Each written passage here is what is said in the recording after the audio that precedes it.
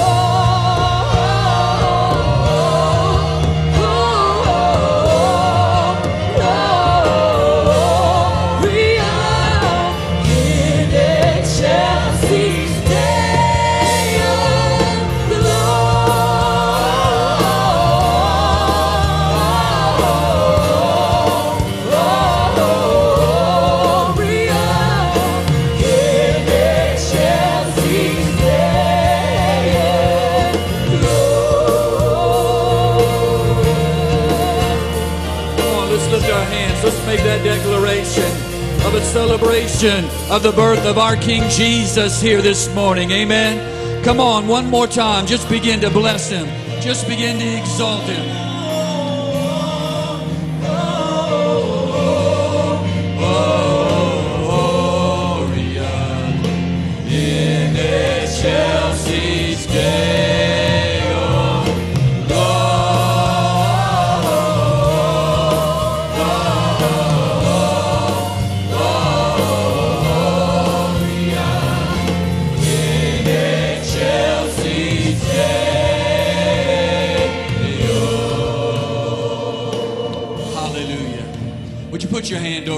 With me this morning?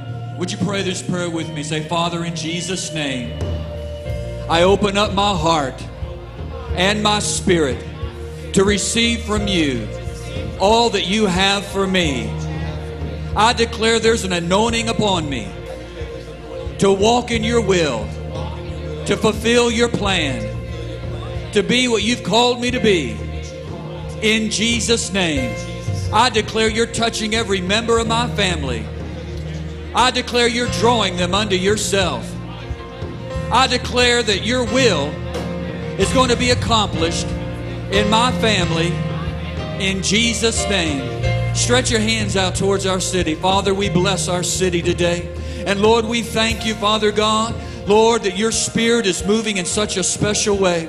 And Lord, we pray, God, that there would be a manifestation of the glory of God that would invade our city. Lord, we pray today your spirit would move up and down every street, into every home, touching every family member. Lord, I pray hearts would be open, blinders would be removed. Lord, I thank you that multitudes, Lord God, shall be open to the gospel of Jesus Christ. Now, Lord, we pray for our mayor. We pray for Greg Fisher that you would touch his heart. May he walk in wisdom and knowledge and understanding. Lord, may he turn to the things of God in Jesus' name. We bless the leadership of our city. May there be righteousness, godliness, and morality.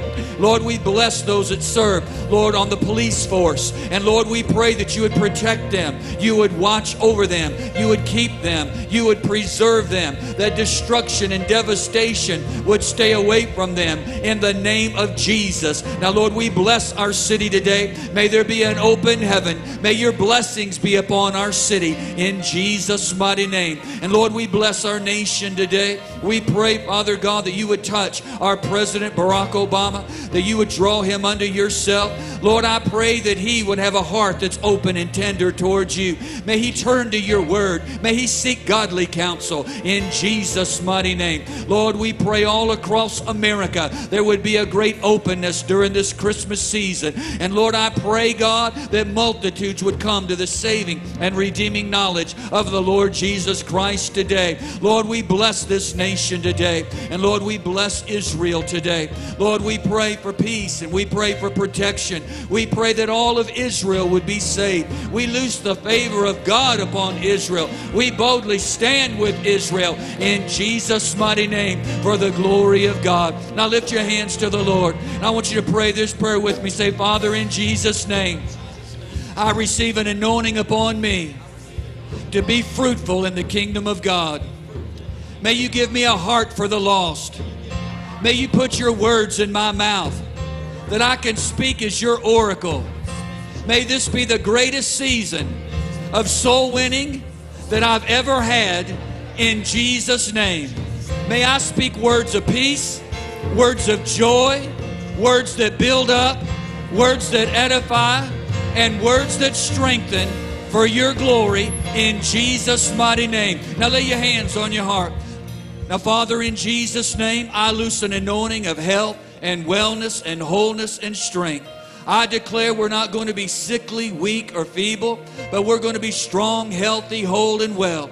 I declare cancer, you're never coming into our bodies. We're not going to have diabetes, heart attacks, strokes, or aneurysms, but as our days are, so shall our strength be. Lord, I declare energy, stamina, and endurance for the glory of God. We're going to run and not be weary. We're going to walk and not faint. We're not going to wear out. We're rejuvenating in the mighty name of Jesus for the glory of God. Lord, I loose that upon every single person here today in Jesus. Jesus' mighty name for the glory of God. Now let's pray the 23rd Psalm together. The Lord is my shepherd, I shall not want. He maketh me to lie down in green pastures. He leadeth me beside the still waters. He restoreth my soul. He leadeth me in paths of righteousness for his name's sake. And yea, though I walk through the valley of the shadow of death, I shall fear no evil, for thou art with me. Thy rod and thy staff, they comfort me. Thou preparest the table before me in the presence of my enemies. My cup runneth over. Surely goodness and mercy shall follow me all the days of my life, and I will dwell in the house of the Lord forever. Goodness and mercy are following us everywhere we go.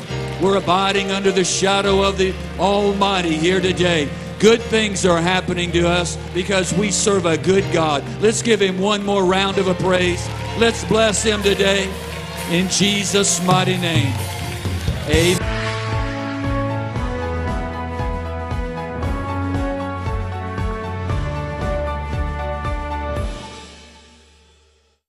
We're having a New Year's celebration service December 28th at 5 p.m. The night will feature our annual Parade of Ministries, a tag team preaching event, and more. Mark your calendars now for the last Sunday of 2014 to be at the Billtown Road location at 5 p.m. for the New Year's Eve celebration service. The loss of a loved one can be quite overwhelming, and many times details are overlooked or even forgotten. That's why here at Crosswater Gardens, we're offering a free, no obligation estate planning guide. This is a vital first step in keeping the wishes of your loved one in mind. And if you need help, one of our trained staff would love to speak with you and even walk you through the process. Because here at Crosswater Gardens, your legacy matters to us. Dr. Rodgers has pioneered the fasting movement in the United States for the last 25 years. Fasting releases the mercy of God for God's blessings. Uh, the Lord said He would strengthen your body and He would heal your body, and you would not be crippled through fasting. But I'm here to tell you, God will bring you miracles in the name of Jesus. The mercy of God is released every time in the Bible when people have fasted. We become a team. We become a body of believers. If you get a breakthrough, she gets a breakthrough. If you get a raise, that a blessing is for all of us. Now, for the first time ever, receive Dr. Rodgers' most asked for fasting teachings in one DVD or CD package. This three disc set contains over 190 minutes of teaching, techniques, and how to's to fasting from three specific chosen sermons What Happens to People Who Fast, Revelations Through Fasting, and The Key of David. This is the most comprehensive fasting disc set ever released from Bob Rodgers Ministries. Receive A Legacy of Fasting, 25 Years of Fasting and Prayer by Dr. Rodgers on DVD or CD for your gift of any amount to the ministry. Call 1 888 613 6080 or visit us online at bobrogersministries.org. Plus, call before this program ends and receive a special gift from Dr. Rodgers his best selling book, America Fasting for Revival. This offer is by far the greatest set of fasting materials you can ever obtain and is only available for a short time. Call today and help support the outreach of Bob Rodgers Ministries with your best one time gift to the ministry.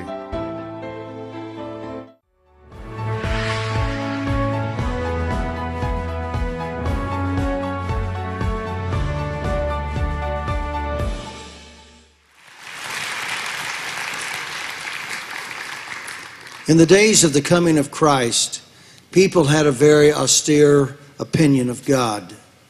It was almost like God was waiting for someone to fail so he could punish them. And so when Jesus came, he came to really show what God was like.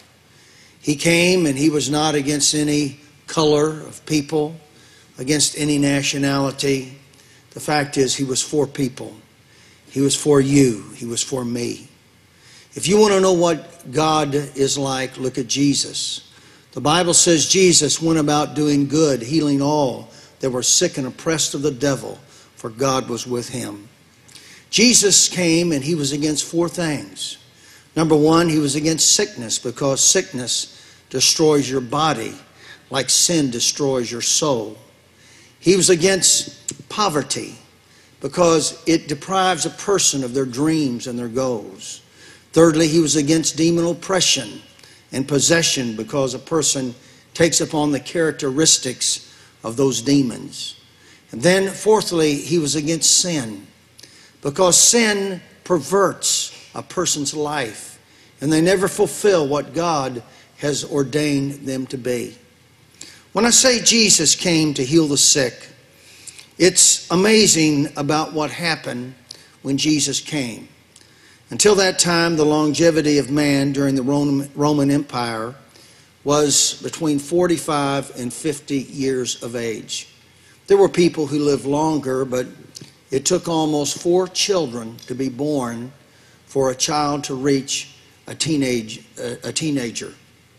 And so when you were 45 or 50 years of age, it would be like you were 80 years of age today. But when Jesus began to come and he began to preach healing, and the miracles of healing began to happen through the early church, it's an amazing thing how people begin to live longer. The fact is, in the first in the first Corinthians chapter 15, verse 6, I want to read, it says, After that he appeared unto more than 500 of the brothers and sisters at the same time, most of whom are still living today, though some have fallen asleep. This is a scripture that Paul wrote about there were 500 people that saw Jesus resurrected, and now he rose from the dead. That was in 33 AD. And yet, this Bible was written in Corinthians at 55 AD. It was written 22 years later. And so, if the average age was, say, 20, and probably there were some 30, some 40, there, that would make them 20 years older. So, the people, those 500 people almost that were still living, they were, the youngest would have to be at really the age of dying, the average age in the Roman Empire. But yet, there were some that were in their 60s, some that were even in their 70s. It seems like they were living longer because Jesus was healing the sick and prolonging life. The Gospel of John was written in 90 AD. That's almost uh, 57 years after the death of Christ. And it begins, this was written through live witnesses who witnessed what Jesus had done. So those people had to be in their 80s and some even in their 90s. But it shows how when Jesus comes, there's a healing and a strength that begins to take place. In the book of Proverbs, chapter 12, verse 28, it says, In the way of righteousness is life, and in the pathway thereof there is no death. The Hebrew translation for that, in the way of righteousness in helping the poor, there is life, and in the pathway thereof there is no death. One of the pillars of Jesus' teaching was to help the poor. And the Bible teaches us that we have an appointed lifespan, we have a day to die. Everybody is given a lifespan some longer than others. But if you help the poor, if you reach out to those in need, you will not die before your time. And you have an opportunity to live even longer. And then you're reaching out to the poor gives you a reward on the other side. So there is no death. It just doesn't come to an end after you pass from this life but that goes on and blesses you even in the life after this. I remember when I was a senior in high school, I had broken my arm playing football. I had broken the socket off my arm, and my arm quit growing. I was in the hospital for 45 days my senior year, and the doctor told me I would have a withered arm. But a preacher came into my room. He was a Baptist preacher that had been filled with the baptism of the Holy Ghost. And he said, God has sent me here to pray the prayer of faith that you might be healed. God healed my arm. I don't have a withered arm. I have a whole arm that's totally healed in the name of Jesus Christ. Hallelujah. So, Jesus, He came here to heal the sick. Secondly, He came that we might have life, the life of God. You see, when you get born again, it's not just a get out of hell free card. It's not just so you don't can go to heaven, but he imparts to us his very nature, his the life of God. It's like having a pit bull and suddenly it becomes like a kitty cat. It's like having a ferocious lion and suddenly it becomes like a pet that you'd have around your home. That's what God does when He comes into a person's life, and it's called the Zoe. Say that with me the Zoe, or the life of God. And what happens when that life of God comes inside of you? It's a fullness of the Logos that becomes manifest in your flesh. Anything that God says becomes alive inside of you, so you're able to love like God loves. You're able to forgive people who've treated you wrong. You're able to do things and have faith to believe God to remove mountains in your life. It's called the Zoe or the life of Jesus Christ. That word Zoe is mentioned in the New Testament 127 times, but it's mentioned most 32 times in the book of John. And when you begin to read it, it says, In him was life, and in that life was the life of men. In John 3 15 and 16, it says, Whosoever believeth on him shall not perish, but have eternal life. For God so loved the world that he gave his only begotten Son, that whosoever should believe on him would not perish, but have the life of God. In John 6 33, it says, For the bread of life is he that cometh down from, from heaven and giveth life unto the world. John 10 10 says, The thief or the devil comes to kill, to steal, and to destroy. But I am come that you might have life. You might have the life of God inside of you, and you might have it more abundantly. So Jesus came that he might give us his nature in his peace. You know, when you come to Christmas, a lot of times the biggest fights that ever take place take place on Christmas Day. Alcohol has done more to destroy Christmases, birthdays, the 4th of July's, birthday parties. Alcohol has destroyed the joy and the peace of God.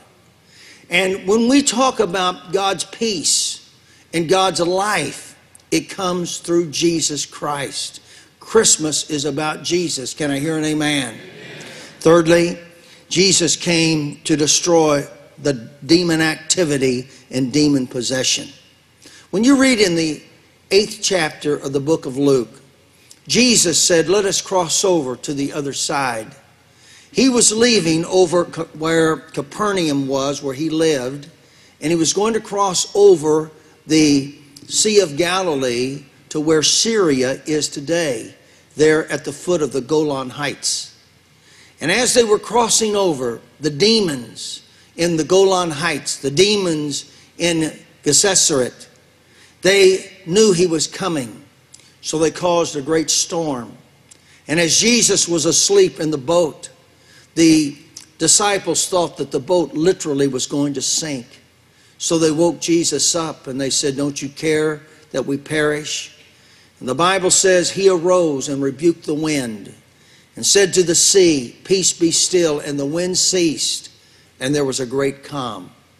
And then the Bible says, Immediately they were at the other side of the lake. And there came a man full of demons. He had a legion of demons. That was like a Roman a battalion of demons inside of him.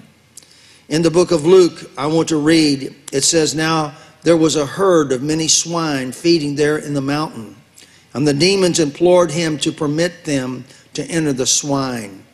And he gave them permission.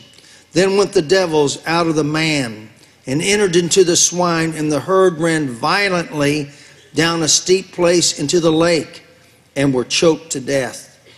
Those demons, those demons in that man legion, they knew Jesus was coming to get them. And so they rose up and they tried to destroy Christ. You know, that's what happens to many of you. The de- devil knows that God's getting ready to do something great. And so he tries to destroy your life. He tries to bring sickness. He tries to bring confusion. Sometimes on your way to church, some of the worst arguments and troubles happens in families on the way to God's house. Then you have to put on your church face when you come in here and have to listen to Pastor Bob and you just smile, but inwardly you've had the biggest knockdown drag out that you've had all week. Well, that's the devil trying to hold you back from receiving what God has for you. But Jesus came to break every fetter of the devil off of you and your family. Can I hear an amen? I remember Margaret and I were on the evangelistic field. We were staying with a pastor. And this uh, pastor's son had married a girl who absolutely was demonic. Her, her parents had been in witchcraft, and he thought she was the most beautiful girl in the world when really she looked like a devil to me. She looked like that Cruella de Vil in the 101 Dalmatian story. I mean, it, he might have looked, she might have looked good to him, but she didn't look good to anybody else. And he became so oppressed with demons that he was uh, at the place of suicide. And so the mother asked me to go over there and talk to him. And I went into the place where he was working. He was running a radiator shop. And I remember as I began to talk to him, these demons began to manifest. And he said, I'm going to kill you. And it's actually the demons speaking out of him. And he picked me up. He picked me off my feet and, and put me against the wall. And he said, I'm going to, I'm going to run my fist right through you. And I said, I said, no, you're, you're not going to run your fist through me. And he took his fist and wham, and he hit the wall right beside me, He knocked a big hole in the wall. And then he picked up a chair and he said, I'm going to break this chair over your head. And I said, No, you're not going to break that chair over my head. I've learned that every word the devil speaks a lie. So if you'll just say the opposite, that's a, that will be the truth. If the devil says he's going to bring cancer, said, No, you're not going to bring cancer in my life. I'm going to bring divorce. No, you're not going to bring divorce in my life. And he took that chair and he raised it, and at the last second, he hit the floor beside me and it broke into, into many pieces. I said, Steve, God wants to deliver you. And I laid my hands on him and he fell to his knees. And God totally set him free in Jesus' name. Jesus came to set the captives free. Can I hear an amen? The fourth thing that Jesus came, he came that we might prosper and be blessed.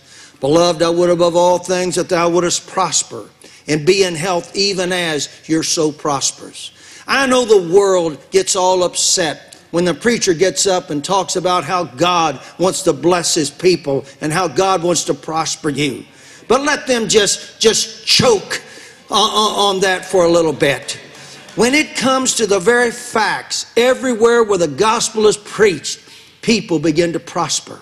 There's never been a man of God in the Bible that did not increase and be blessed in Jesus' name. Jesus came that we might prosper spiritually, prosper physically, and prosper financially. And Jesus even blesses those who don't even believe on his name. Now, you take right now, this is the Christmas season. Let me tell you about the Christmas season. Christmas is typically the largest economic stimulus that the whole world will receive. Here in the United States in 2013, there were over 3 trillion US dollars spent during the holiday season. This year, there have been over 800,000 people that have been employed just because of Christmas. And so, even those who reject Jesus are being blessed by Jesus during this time. I think we ought to give the Lord a great big praise clap. To deny Christ's blessings is to deny the Bible. 700 times he speaks about money. 2,000 times he speaks about money or what money can do. In Deuteronomy 8:18, he says he'll give you power to make wealth. In Joshua chapter 1 verse 8, he says, It is written and the word is given that thou may be prosperous and have good success. In Genesis 12, 13, 2, it says that he, we would be blessed. I will bless those that bless you, and I will curse those that curse you. In Job 22, 28, it says, Thou shalt decree a thing, and it shall be established unto thee, and the light shall shine upon thy ways. In Psalms chapter 1, it says that you shall bring forth fruit in his season. His leaf also shall not wither, and whatsoever you do shall prosper. In Matthew 21 22, it says, All things. Somebody say, All things. All things whatsoever ye ask in prayer, believing, ye shall receive. In Mark 11 24, whatsoever things you desire when you pray, believe that ye receive them, and ye shall have them. In Luke 6 38, give, and it shall be given unto you. Good measure, pressed down, shaken together, and running over, shall men give into your bosom. In John 14 13, whatsoever ye ask in my name, that will he do, that the Father may be glorified in the Son. I can do all things through Christ, which strengtheneth me. My God shall supply all my needs according to his riches and glory in Christ Jesus. Do you believe that today? If you do, say an amen.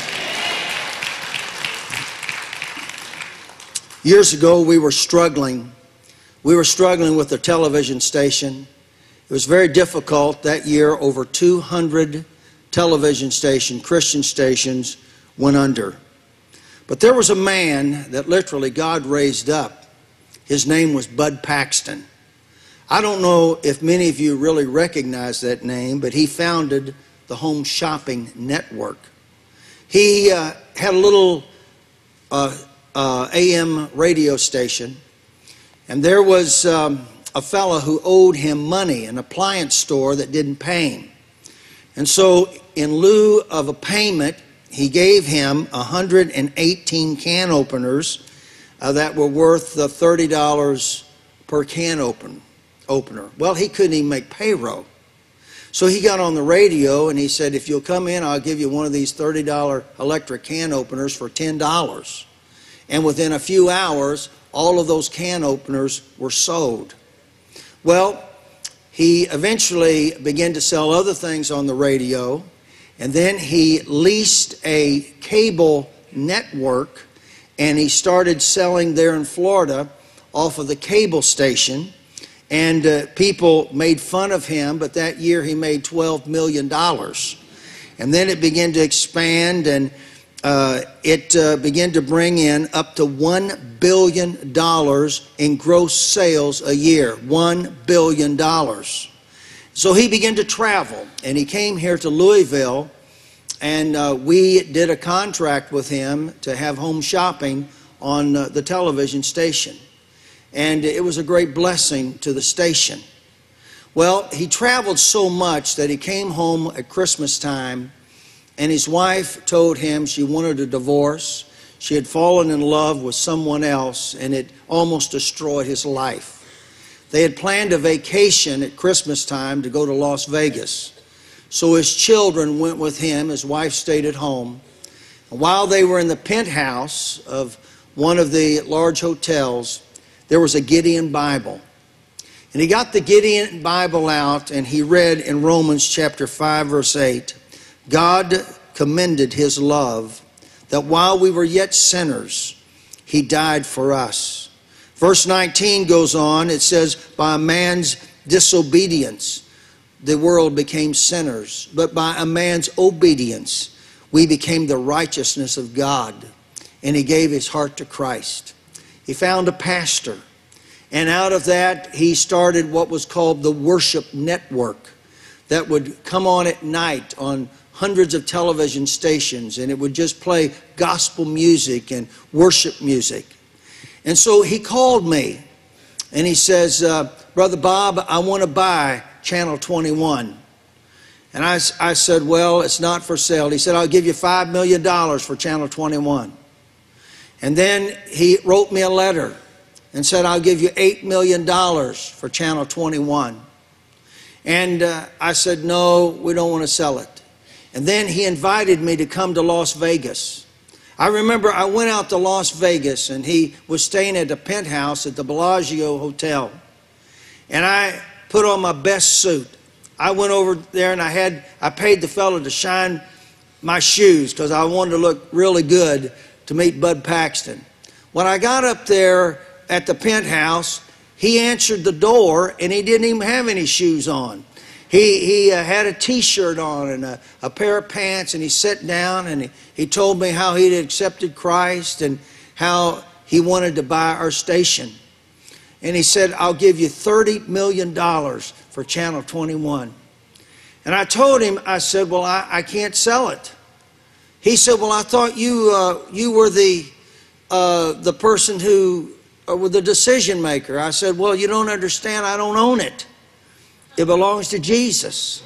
Jesus owns Channel 21. And as I talked with him, he said, All right. He said, I want to do a deal with you. And, and PAX Network did a deal with our station that was never done with any other station, and they had bought 83 television stations, and they did a deal for us. He said, I'm going to buy you a new transmitter. It was $5 million for the transmitter. He said, I'm going to put a completely new uh, outfit your, your television station. We had the best master control, better than WHAS, better than Wave TV. It was the best in this state. Then he began to pay us, and for 15 years, we had the highest pay of any station he would pay to us when station after station was going off the air Praise God. God made a way for us. Come on, let's give the Lord a big praise clap. Hallelujah.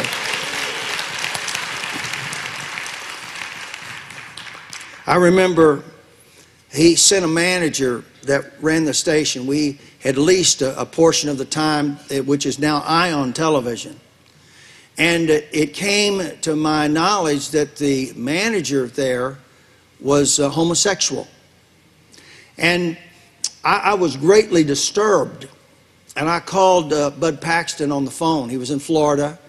And I said, uh, Bud, I said, you know, the fella here is uh, an avowed homosexual. And we're a Christian station. I'm a pastor of a church.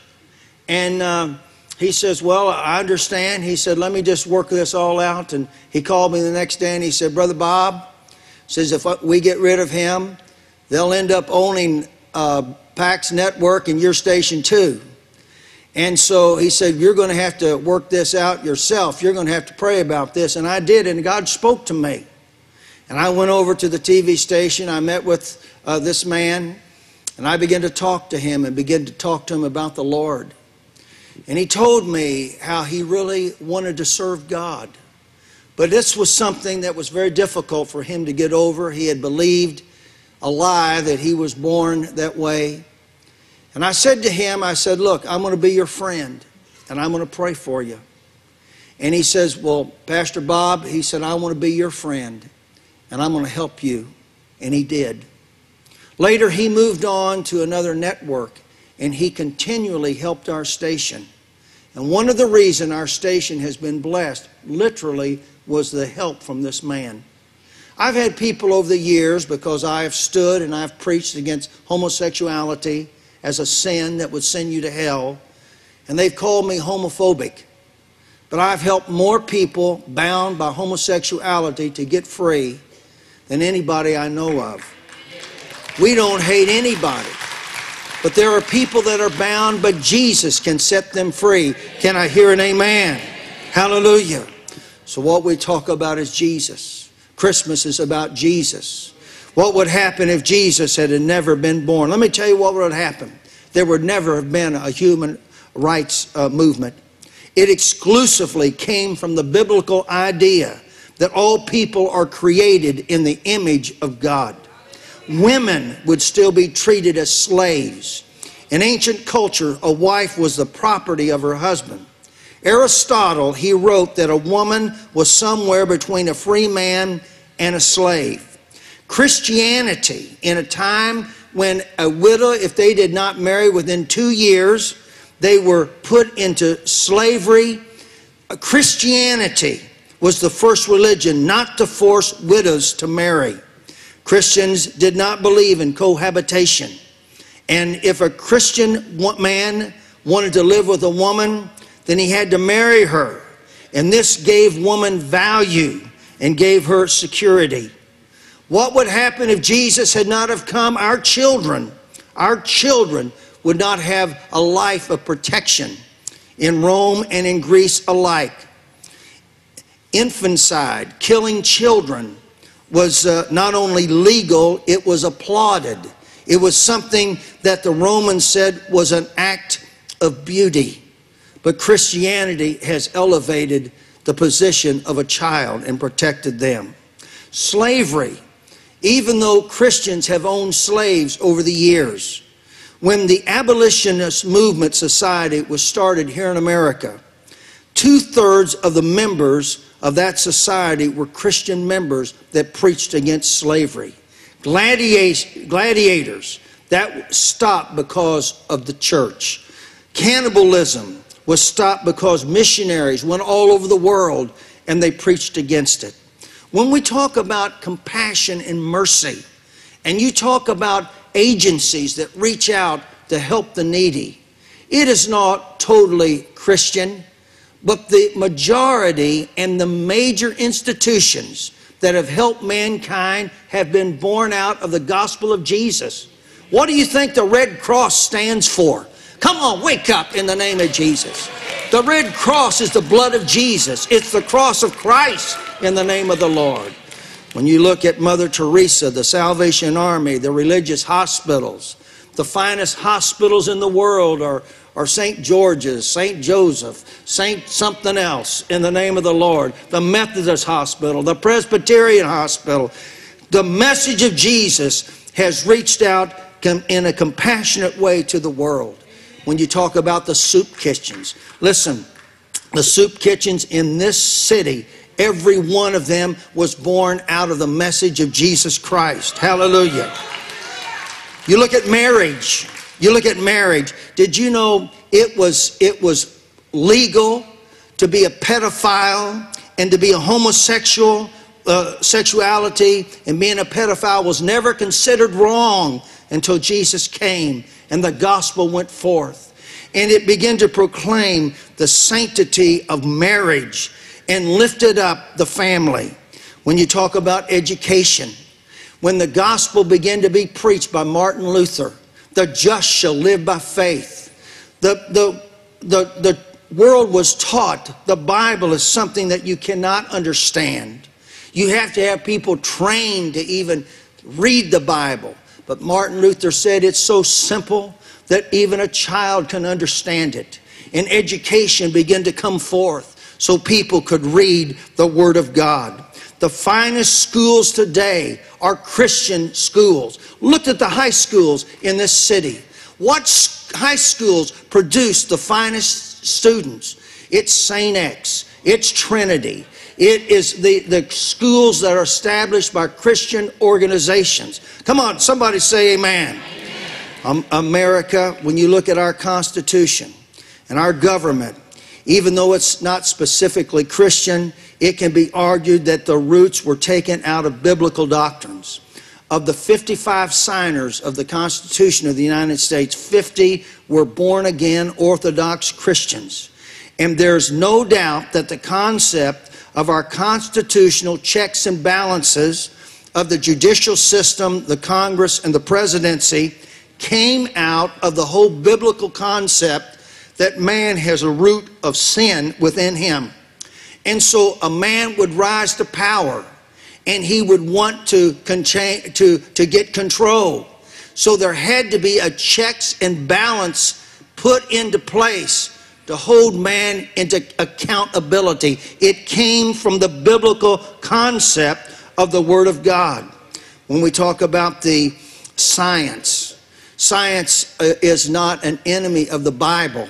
The fact is, when you look at the outstanding scientists and people that were leaders in science, Pasteur, uh, um, Newton, uh, Boyle, all of these were were men of God and Christian men. When you talk about the free enterprise and work, worth ethic, private property rights originated with the Ten Commandments Thou shalt not steal, thou shalt not bear false witness. When we talk about biblical capitalism, it is what has made this country great, and it was born out of the Word of God. He that has, even more will be given unto him. And that person who does not produce, even what he has, will be taken away. When you talk about art and music and literature, think about it. Think about it. Had Jesus never been born, music would not sound like it does today. Where did Bach and, and uh, Handel's and other uh, um, musicians come from? It came, and the inspiration came from the Word of God. What I'm talking about is Jesus. He has affected every aspect of our society. And you take Jesus out of the equation, you take the church out of the equation, and what do we have? We have a lawless society. You have Hitler, you have Mao Zedong, killing millions of people. You have Stalin killing 18 million people on the earth. Oh, I've heard people talk about the Crusades and how the Crusades were, were so evil. Well, what about terrorism? What about terrorism in the United States where we've had to go and protect ourselves and we've had to go to Afghanistan? It was the same thing with the Crusaders. They were being plundered, the holy sites were being destroyed. They had to rise up and defend themselves.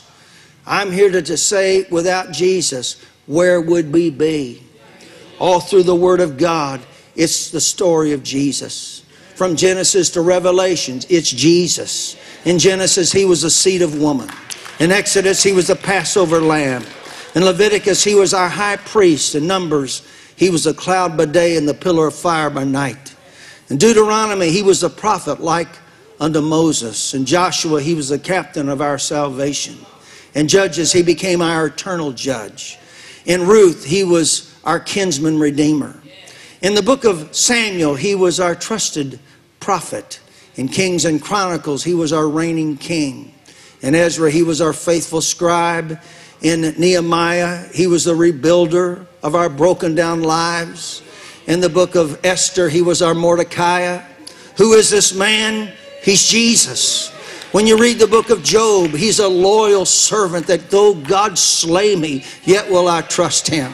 In Psalms, he's the great shepherd that leads us beside the still waters, and he restoreth our soul. When you read Proverbs and Ecclesiastes, he's the wisdom of God. In Song of Solomon, he's our lover and our bridegroom. In Isaiah, he's the Prince of Peace. In Jeremiah and in Lamentations, he's the weeping prophet. In Ezekiel, he becomes the wheel in the middle of the wheel. And in Daniel, he's the fourth man in the fiery furnace. In Hosea, he's the husband forever married to the backslider. In Joel, Joel, he's the baptizer in the Holy Ghost. In Amos, he's our burden bearer. In Obadiah, he is our loving Lord. In Jonah, he's the first foreign missionary that goes to the ends of the earth to proclaim the good news in Obadiah, he is the Lord mighty to save. In the book of Micah, he is the redeeming Lord. In the book of Nahum, he's the avenger. In Habakkuk, he's the evangelist forever pleading for revival. In Zephaniah, he is the, the one who comes with beautiful feet. In, in uh, the book of Haggai, he's the restorer of a lost heritage. In Zechariah, he's a fountain flowing for the sin and the unclean of mankind.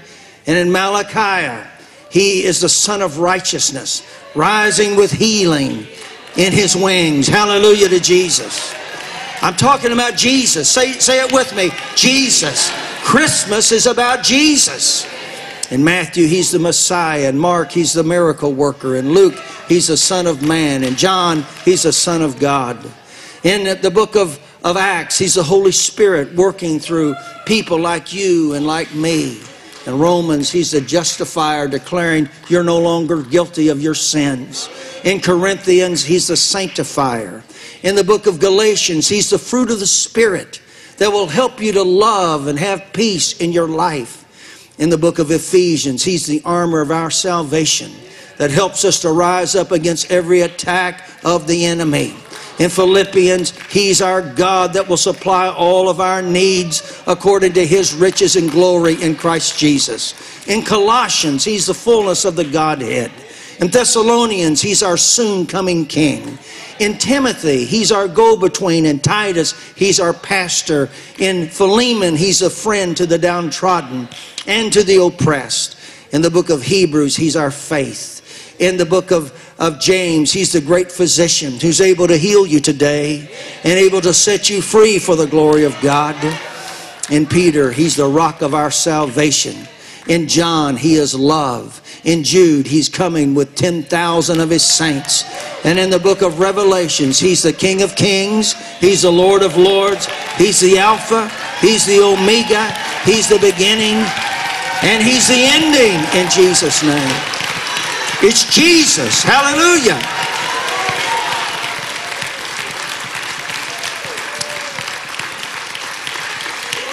I want everyone to stand. If you're here today and you need a miracle, you need a physical healing in Jesus' name, Jesus is your healer. I want you to place your hand on that part of your body where you need God to heal you. In Jesus' name, I command every sickness, every infirmity, every weakness to come out of your body in the name of Jesus. I command you to be healed from your head down to your toes. I speak to your lungs, to your heart. I speak to the joints. I speak to your back. Be healed in the name of Jesus Christ. I, I come against demon oppression and demon possession. If you have members of your family that are bound by drugs or alcohol, I'm here to tell you God can set them free in the name of Jesus. I bind those demons. Come out in the name of the Lord. I come against generational curses that have brought nervous conditions and all type of curses on your life. I break those curses in the name of Jesus. Be set free for the glory of God. Now everyone raise your right hand. I speak blessings to you. I command poverty to be broken, lack to come off of you in Jesus' name. May God do miracles for you financially. May the blessings of God come upon you. May it overtake you in the name of Jesus Christ. Hallelujah. Now, every head bowed, every eye closed. I can share with you about Jesus, and if you've come here today and He's not the Lord of your life, You'll leave here and you'll say, well, that's a good thought. But unless the Holy Spirit convicts you, and unless you open yourself up to the words of Christ, to do what Jesus has called you to do, unless there's a fear of God within you, you'll reject Jesus and you'll go to hell. Hell's a real place. Hell is something that preachers don't like to preach on a lot, but hell is made for the devil and those who will not serve God. Jesus doesn't want you to go to hell. He came and died so you would not have to go to hell. But you have to accept Christ. You have to open up your life and say, Jesus, I want you to live inside of me. And if you'll do that, everything will begin to change. With every head bowed, nobody looking, how many are here and say, Pastor, things are not right between me and the Lord. I don't know if I'd go to heaven or not, but I want to know. I want to give my life to God and I believe in your prayers. Would you pray for me? Hold your hand up. Hold your hand up. I want to pray for you. Yes. Yes, God bless you. Are there others? Yes, over here, over here, over here, over here. God bless you. Are there others? Slip your hand up high in the name of Jesus. I want everyone to join hands with people on either side of you. And I want us all to pray this prayer together. So, Lord Jesus, as best I know how, I mean this prayer today. I ask you to forgive me of every sin. Take out of me what the devil's put in my life and restore to me what the devil's stolen. In Jesus' name, I want to serve you. Let this be a great Christmas. May I sense your presence. Jesus, be real to me. Be real in my family. Heal every situation. I give myself to you forever. Amen. How many meant that prayer? Hold your hand up if you meant that prayer. Come on, hold your hand up high if you meant that prayer. Then God heard that prayer. And God will answer that prayer in the name of Jesus. Hallelujah. Let's give the Lord a great big praise clap today. Hallelujah.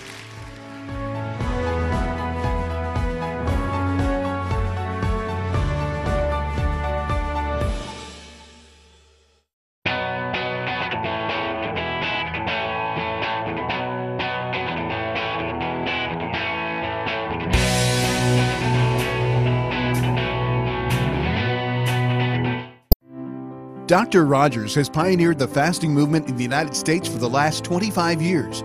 Fasting releases the mercy of God for God's blessings. Uh, the Lord said He would strengthen your body and He would heal your body, and you would not be crippled through fasting. But I'm here to tell you, God will bring you miracles in the name of Jesus. The mercy of God is released every time in the Bible when people have fasted. We become a team. We become a body of believers. If you get a breakthrough, she gets a breakthrough. If you get a raise, that a blessing is for all of us. Now, for the first time ever, receive Dr. Rodgers' most asked for fasting teachings in one DVD or CD package. This three disc set contains over 190 minutes of teaching, techniques, and how to's to fasting from three specific chosen sermons What Happens to People Who Fast, Revelations Through Fasting, and The Key of David. This is the most comprehensive fasting disc set ever released from Bob Rodgers Ministries. Receive A Legacy of Fasting, 25 years of fasting and prayer by Dr. Rodgers on DVD or CD for your gift of any amount to the ministry. Call 1 888 613 6080 or visit us online at bobrogersministries.org. Plus, call before this program ends and receive a special gift from Dr. Rodgers his best selling book, America Fasting for Revival. This offer is by far the greatest set of fasting materials you can ever obtain and is only available for a short time. Call today and help support the outreach of Bob Rodgers Ministries with your best one time gift to the ministry.